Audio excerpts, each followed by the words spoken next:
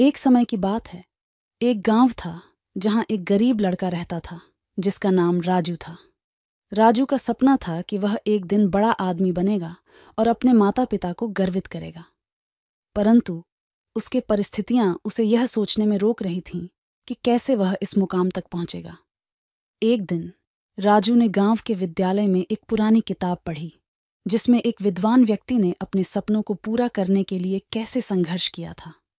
राजू ने उस कहानी से बहुत प्रेरणा ली और उसने तय किया कि वह भी अपने सपनों की पूर्ति के लिए संघर्ष करेगा। वह गरीबी के बावजूद अच्छे अंक प्राप्त करने के लिए मेहनत करने लगा और अपनी पढ़ाई में ध्यान देने लगा। उसने छुट्टियों में भी खेतों में काम करके अपनी पढ़ाई जारी रखी।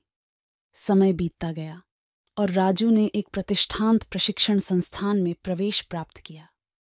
उसका यह संघर्ष उसे एक बड़े उच्चतम पर पहुँचा दिया और उसने अपने माता पिता को गर्वित किया।